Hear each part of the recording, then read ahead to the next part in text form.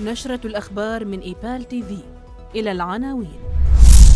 وزير خارجية الاتحاد الأوروبي يحذر إسرائيل بعدم الاعتراف بأي تغيير على حدود 67 محكمة اللد تدين مستوطنا إسرائيليا بقتل ثلاثة أفراد من عائلة فلسطينية. مخاوف من تدهور الوضع الصحي والغذائي في مخيمات اللاجئين الفلسطينيين بسبب كورونا. بعد إغلاقها بسبب كورونا منذ الثالث عشر من مارس الماضي الدنمارك تعيد فتح مساجدها.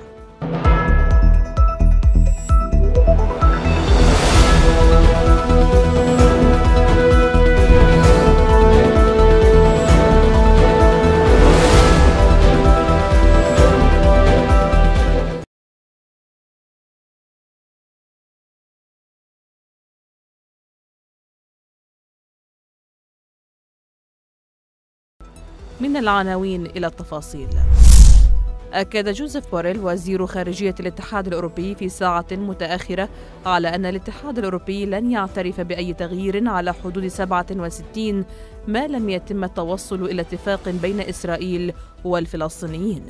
وأعرب بوريل كما نقل موقع صحيفة إسرائيل هيوم العبرية عن قلقه العميق بشأن مخطط الحكومة الإسرائيلية الجديدة بشأن ضم الأراضي الفلسطينية. وحث بوريل إسرائيل بقوة على الامتناع عن أي قرار أحادي من شأنه ضم الأراضي الفلسطينية في مخالفة واضحة للقانون الدولي.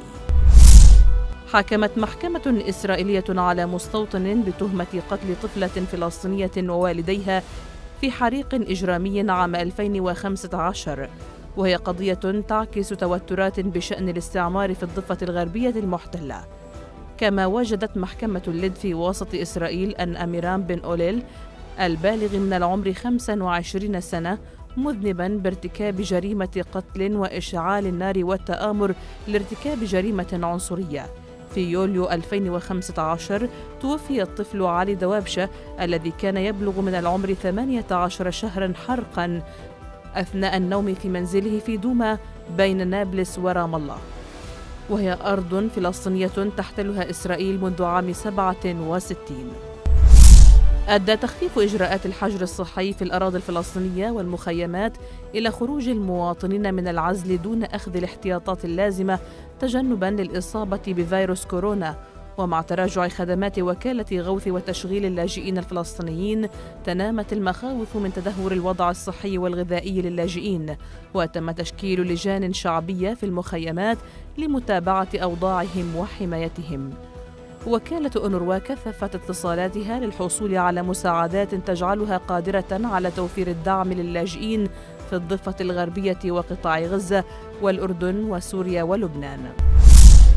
أعادت الدنمارك فتح أبواب مساجدها أمام المصلين بعد إغلاقها منذ الثالث عشر من مارس آذار الماضي في إطار تدابير مكافحة وباء كورونا.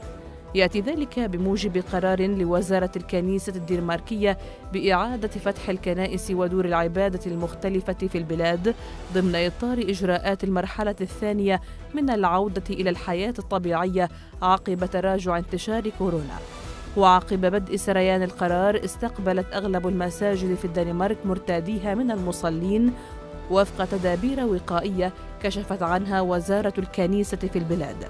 وأبرز هذه التدابير تخصيص مساحة أربعة أمتار لكل شخص وتعقيم اليدين عند الدخول للمسجد. انتهت النشرة دمتم بخير.